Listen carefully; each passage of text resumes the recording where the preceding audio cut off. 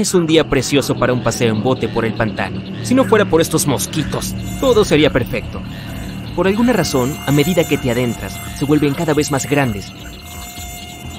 Al principio eran diminutos, casi invisibles, y ahora son del tamaño de tu pulgar. Puedes oír su zumbido cuando pasan junto a ti. Te adentras para investigar por qué son tan grandes. Finalmente ves un gran grupo de mosquitos del tamaño de tu mano zumbando. Se fijan en ti y se acercan. Así que tomas una rama y los espantas. Regresas corriendo a tu barco e intentas escapar. Ellos te siguen, y algunos hasta consiguen pararse sobre ti. Los espantas, pero aparecen más mosquitos del tamaño de un balón de baloncesto. Pones el bote en marcha y regresas a tierra firme a toda velocidad. Al llegar, ves que todos huyen enloquecidos, presas del pánico por los mosquitos gigantes. Algunos son tan grandes como un perro. La gente se esconde bajo las mesas de picnic. Otros corren hacia sus autos y se alejan. Te bajas del bote y corres hacia la tienda más cercana junto a decenas de personas. Los empleados cierran las puertas, pero los grandes paneles de cristal muestran cómo los mosquitos se multiplican. Cada vez son más grandes, hasta que ves pasar a uno tan grande como un auto. Es tan fuerte que aterriza en un vehículo vacío y lo aplasta. Todos los que están adentro son presa del pánico.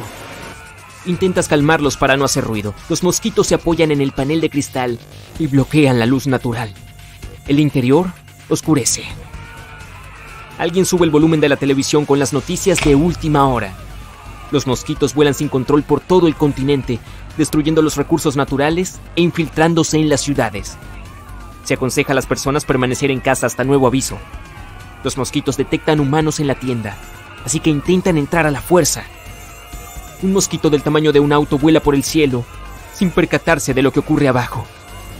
Todos oyen un ruido procedente de la parte trasera de la tienda. Los empleados se dan cuenta de que no han cerrado las puertas con llave. Un gran mosquito entra y lo derriba todo. Tu grupo corre aterrado y le arroja cosas.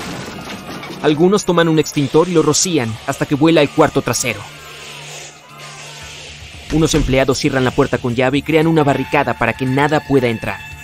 Aguardan nerviosos. La televisión transmite en directo cómo los mosquitos gigantes vuelan por todas partes, un helicóptero se ve obligado a aterrizar, ya que los mosquitos vuelan salvajemente por los cielos. Tu grupo se estremece cuando oye el sonido de más mosquitos zumbando cerca de la puerta trasera. Pasan las horas y siguen llegando más y más mosquitos. No hay nadie afuera y gran parte del diseño urbano y paisajístico del parque está destruido o invadido por insectos gigantes. Algunos comen lo que haya y otros duermen una noticia de última hora interrumpe la cobertura en directo y muestra que habrá autobuses blindados listos para recoger a las personas cerca del lugar del picnic. Sin embargo, no se dirigirán a los puntos más peligrosos. Eso sería demasiado arriesgado. La única manera de subir es estar en la autopista en dos horas. Todos intentan llamar a sus seres queridos, pero las torres telefónicas han sido derribadas. El mosquito que entró hace un rato destruyó el único teléfono fijo que había. Todos discuten si deben quedarse o irse. Más insectos cubren las únicas zonas despejadas del cielo, hasta que el sol desaparece. El grupo se divide en dos partes, los que se van a tomar el autobús y los que quieren quedarse. Los empleados conocen un camino que puede llevarlos rápidamente a la autopista. El único problema es que serían unos 20 minutos a pie, y no hay autos que puedan usar. El camino es complicado. Primero tendrían que escapar por la entrada principal y atravesar el bosque espeso que hay detrás de los basureros. Allí podrían entrar en un edificio, posiblemente a través de las alcantarillas, que los llevará al lago junto a la carretera. El primer grupo decide marcharse y prepara provisiones para la fuga. Cada segundo llegan más y más mosquitos que cubren el cielo. El grupo se equipa con todo lo que puede encontrar para protegerse. Los mosquitos se sienten atraídos por el dióxido de carbono que la gente exhala, así que saben que hay una fuente que proviene de la tienda. Una vez que todos están preparados, toman unas antorchas improvisadas y las encienden. También añaden un poco de combustible de barbacoa para mantener el fuego. Tú eres parte del grupo que planea escapar. Las puertas se abren y todo el mundo corre hacia el contenedor. Muchos mosquitos intentan atacarte, pero el humo del fuego los repele. Con cada segundo aparecen más mosquitos que llenan el cielo y los alrededores. Muchos terminan corriendo de regreso a la tienda, ya que no lograron pasar el basurero y llegar al otro edificio. Finalmente, el resto del grupo, tú incluido, Corre hacia el edificio, pero está cerrado y nadie puede derribar la puerta. El plan B es romper una ventana y entrar. Tomas una piedra y destrozas la ventana más cercana. El único problema es que los mosquitos pueden seguirlos adentro. Así que sin más opciones, avanzan y corren al sótano del edificio para encontrar la entrada a la alcantarilla. Lo lograron.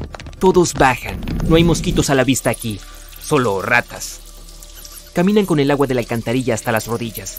Solo faltan unos minutos para llegar al río. Otro problema es que la alcantarilla no se dirige al lago, sino a algún lugar profundo en los canales de las cloacas. Siguen el camino hasta que ves lo que parece una salida. Logran salir y se encuentran cerca de un pozo donde todas las aguas residuales desembocan junto al pantano. El problema es que ya no están cerca de la carretera y el tiempo se acaba. Hay más mosquitos en el aire, pero no se molestan en zumbar junto a ti. Observas unas criaturas del tamaño de un gato que flotan en el agua. Son crías de mosquito o larvas y vienen hacia ti. Tú y todos los demás nadan hasta la orilla para salvar sus vidas.